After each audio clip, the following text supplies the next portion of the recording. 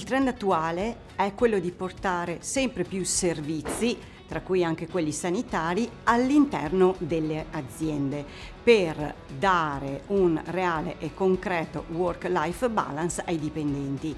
In questo gli HR sono delle figure di riferimento importanti e fondamentali come partner. In questo nuovo contesto sanitario i fondi collettivi investono un ruolo fondamentale dal momento che sono più di 15 milioni gli italiani aventi diritto a una copertura sanitaria proprio perché sono dipendenti di un'azienda.